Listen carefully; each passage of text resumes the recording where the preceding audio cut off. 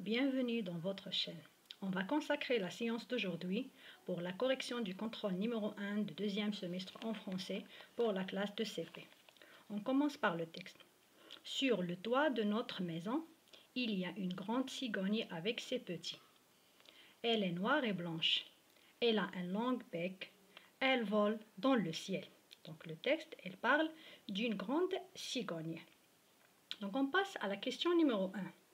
Où se trouve la grande cigogne? Donc la grande cigogne se trouve où? Sur le toit de notre maison. Il y a une grande cigogne. Donc la grande cigogne se trouve sur le toit de notre maison. Se trouve sur le toit de notre maison.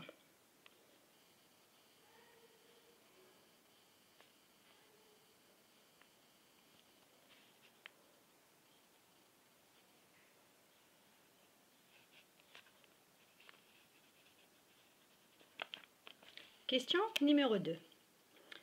Quelle est la couleur de la cigogne? La couleur de la cigogne est. Donc je cherche la réponse dans le texte. Il y a une grande cigogne avec ses petits.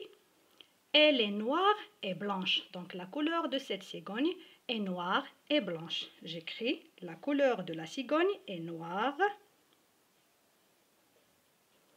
et blanche.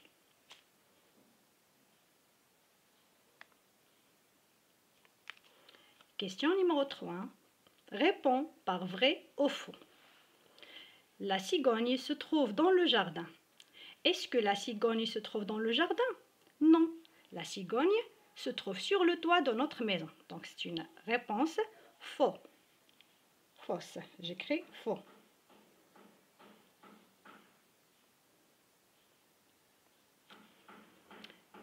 La cigogne a un long bec.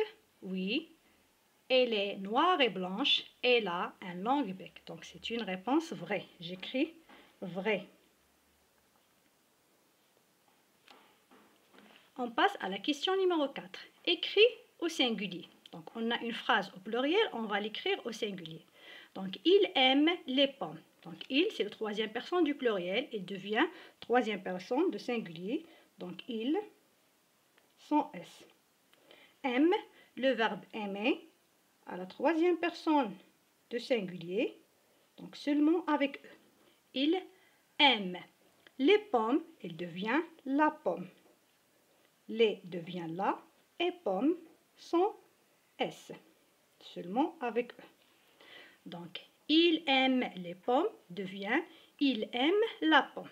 Deuxième phrase, elle regarde des photos. La même chose, elle, c'est le troisième personne de pluriel. Il va devenir troisième personne de singulier. Elle. Regardez, le verbe regarder, troisième personne de singulier, regarde seulement avec E à la fin. Des photos, des devient une, parce que la photo, c'est un nom féminin, et photo sans S. Donc, elle regarde une photo. On passe à la question numéro 5, écrit au pluriel. Donc, on a ici un cahier. Au pluriel, il devient un devient des. Et cahier, on ajoute S de pluriel. Des cahiers. La table, donc là, devient les. Table, on ajoute, on ajoute pardon, S de pluriel. Les tables. Une classe, une devient D. Classe, on ajoute S de pluriel. Le stylo, le devient les. Stylo, on ajoute S à la fin. Des stylos. Question numéro 6. Entoure les pronoms du pluriel. Donc les pronoms personnels sont je, tu, il, elle, nous, vous, il, elle.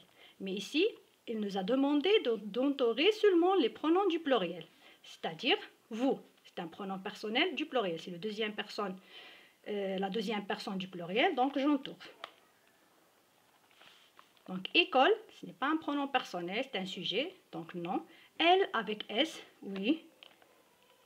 Troisième personne de pluriel. Je, non, c'est un pronom de singulier. Nous, oui, c'est un pronom personnel du pluriel. Chemise, non. Il avec S, oui, c'est un pronom personnel de pluriel. Tu, non, c'est un pronom personnel de singulier. Donc voici la fin de notre correction à la séance prochaine, Inch'Allah. Bon courage à tous.